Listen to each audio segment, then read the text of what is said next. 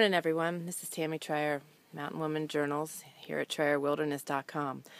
I am making bread today in the sun oven, and I wanted to just show you a little bit. I'm actually doing a little bit of experimenting, and I have a bunch of things coming up with the sun oven. Um, you'll be able to find a course um, upcoming that I will provide information on at a later date, and um, all kinds of good stuff. So, uh, a lot of recipes. Um, I know I was hoping to do more this summer, but it's just been a wash. It's been absolutely insanely crazy here. Um, we're really busy working on this big project, which we will be disclosing soon. Um, so it's just been really crazy. it, enough said. but I'm going to show you the bread here and um, explain a little bit. I'm going to spin the camera and um, show you what I got going on. Okay. Okay. I actually had the mountain man bring the sun oven out for me while I was um, mi mixing the bread.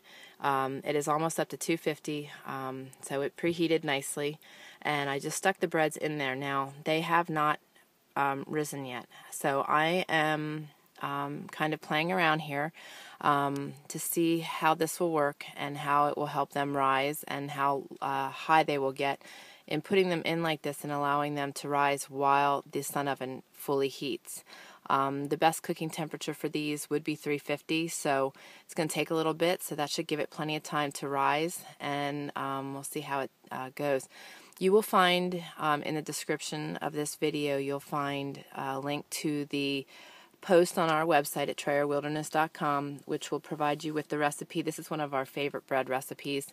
Um, really simple and very easy to make and you can do it in the sun oven, in your oven. You can even do this one on the wood stove. So, um, lots of great opportunities. And I am a bread monger. I love starch and I love bread, and so does my family. So, we have plenty of recipes. So, uh, stay tuned for more of that. And um, upcoming, there'll be some really good tutorials on the sun oven and everything that you can make in it. I have been dehydrating things in it, and that video should be either just gone live or will be coming out shortly. I'm really behind on getting things out to you guys, so my apologies, but thanks for sticking with us. Uh, just a crazy time trying to shuffle it all with work and homesteading and all of our projects. So stay tuned. I'm going to jump off of here. The mountain man is working on uh, doing some welding and grinding, so it's going to get louder. So you guys take care. Um, have a great day, and I'll jump back and show you the finished product. All right, take it easy to just point something out here also. Um, just in that short uh, conversation with you, you can see how the temperature has already started rising quite rapidly. So it will be at 350 before you know it. And right now, I think my forehead is getting like fried from the reflection off the, the uh, off the uh, sun oven here. So um, keeping this um, closed, your uh, top closed and secured down, will also help hold the heat in and will be really helpful when the clouds come in. So you always want to make sure that you have your glass secured so that it's tight up against the seal and that it won't be uh, releasing your heat. So um, just wanted to point that out. All right, I'll be back later. Okay, guys, I just thought I would jump back on here real quick. Um, it's about 40 minutes into the cooking time on this, and it is currently at 300 degrees, and my breads have risen, and they are looking really nice. Um, so I just wanted to show you this. They're not quite finished yet, so I will jump back on and show you the finished product soon. But I just wanted to show you that. Um, keeping your sun oven in the direct sun is important, and so you do need to move it periodically um, to keep it in the sun. Um, I'm very fortunate. Oftentimes, when my guys are out here, I don't have to worry about it because they're always curious to see what the food looks like and to smell it. So, but um, so real quick and easy. I mean, you know, it takes it doesn't need to take longer. It's just that I put these in to rise, so that's why the cooking time is longer. Um, these breads typically take 20 minutes to bake at 350 degrees. So it is taking it a little longer just because I'm rising them in the sun oven. And again, this was experimental, but it's working out perfect.